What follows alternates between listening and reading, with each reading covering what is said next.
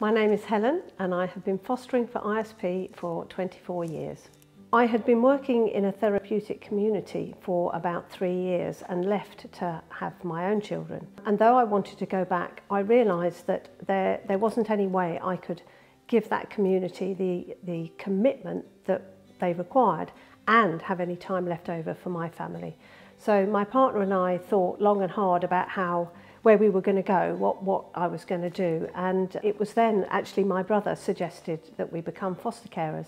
And that seemed to make complete sense because it was a way of combining the job that I loved and the family.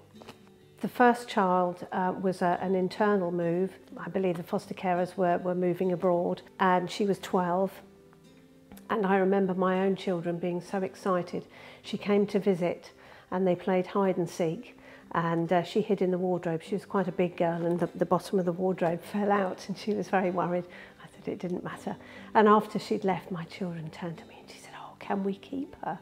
Um, and uh, she came to us for probably about two years. So she was, she was the first young person that we fostered.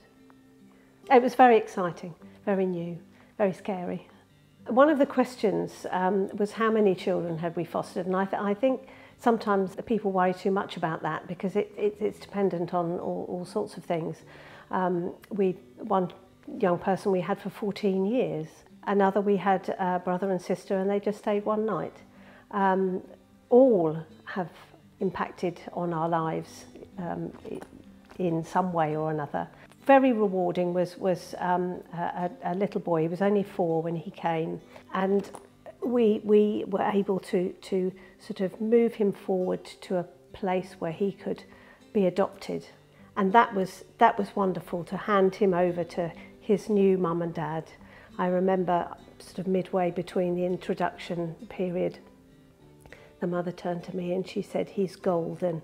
And I just thought, you know, we, we've done a good job and it's going to be okay. He is going to be okay. Many years ago, probably more than 15, um, we were asked to take an emergency placement. Um, a 15-year-old girl who was 36 weeks pregnant.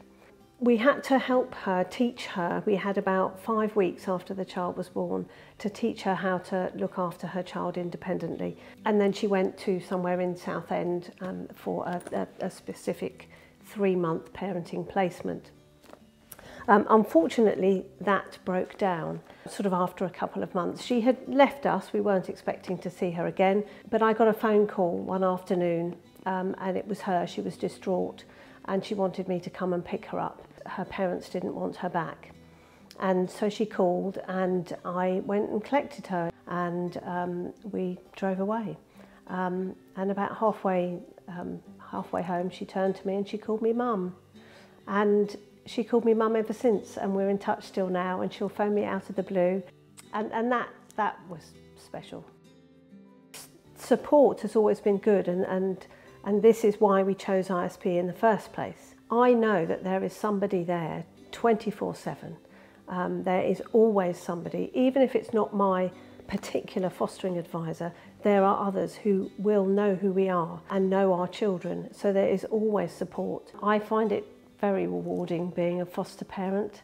Um, it's clearly meeting a need in me. It is wonderful to see the children's successes. Sometimes they're quite small and sometimes their kind of moves forward are, are uh, very tiny. And sometimes they're maybe not seen until many, many, many years later um, in the way they bring up their own children perhaps. But yes, it, it's very rewarding. We've always been happy fostering for ISP. Um, we have a fantastic relationship with our fostering advisor and the manager here is, is, is great, very approachable. We have, have no reason at all to foster for anyone else.